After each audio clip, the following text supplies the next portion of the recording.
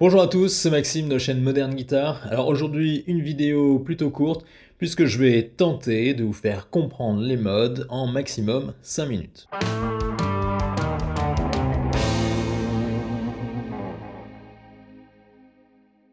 Alors dans cette vidéo, on ne va parler que des modes diatoniques, les modes diatoniques que l'on peut également appeler modes ecclésiastiques, modes anciens ou encore les modes de la gamme majeure. Même si cette dernière appellation est un peu tendancieuse, je ne vais pas rentrer dans les détails, mais si vous voulez en savoir plus, je vous recommande d'aller visionner la vidéo beaucoup plus longue que j'ai faite à ce propos. Dans un premier temps, je vais vous donner une définition claire et simple de ce que sont les modes, ce que c'est qu'un mode. Et la définition la plus simple que je puisse vous donner, c'est celle-ci. Un mode, c'est la répartition des tons et des demi-tons dans l'intervalle d'une octave. Pour comprendre ça de manière simple, eh j'ai préparé un petit visuel qui va vous aider.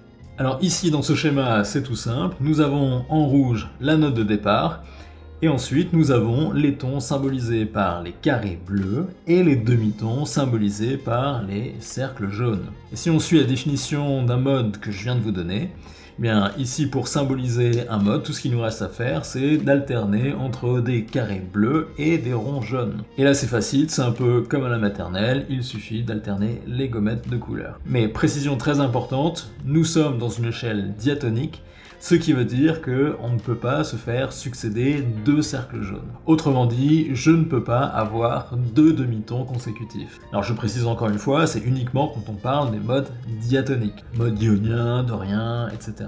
Donc c'est parti, tout de suite, premier exemple. Je vais faire un peu au hasard et je vais prendre par exemple un carré bleu, ensuite un demi-ton, ensuite encore un carré bleu, un carré bleu, un carré bleu, un demi-ton, et enfin je termine par un ton.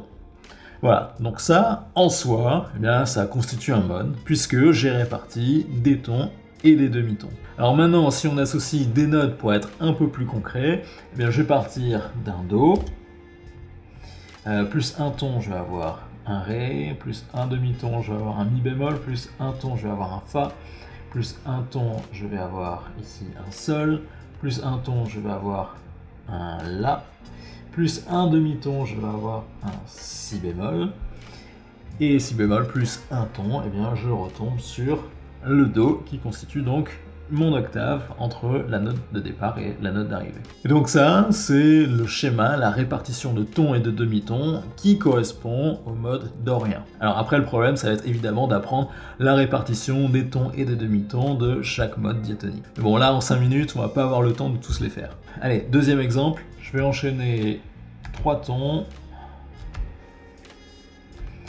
ensuite un demi-ton, ensuite deux tons et finir par un demi-ton.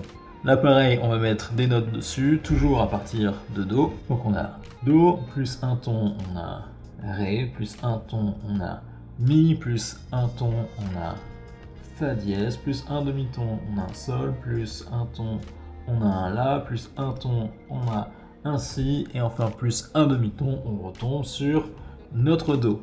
Et ça, c'est la répartition qui correspond au mode lydien. Avec sa note caractéristique, qui est l'intervalle de quarte augmentée entre le Do et le Fa dièse. Alors petite précision, ici je suis parti de la note Do, mais je pourrais partir de n'importe quelle autre note, ce serait pareil, j'obtiendrai toujours un mode lydien, puisque la répartition des tons et des demi-tons est la même. Exemple, si je pars de Sol, je vais avoir les notes suivantes.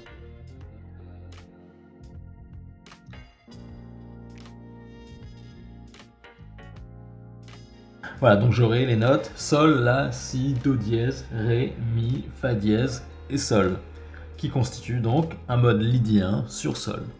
Voilà, j'espère que cette vidéo était suffisamment claire. Si vous avez des questions, n'hésitez pas à me les poser en commentaire. N'hésitez pas non plus à aller regarder la vidéo plus longue que j'ai réalisée sur les modes ainsi que toutes les autres vidéos dans la playlist mode sur la chaîne. En attendant, comme toujours, si vous n'êtes pas abonné, ben, je vous encourage vivement à le faire. Je vous encourage également à me suivre sur les réseaux sociaux Facebook et Instagram. Allez faire un tour du côté du site internet moderneguitaronline.com. Et d'ici là, je vous dis à bientôt dans une prochaine vidéo.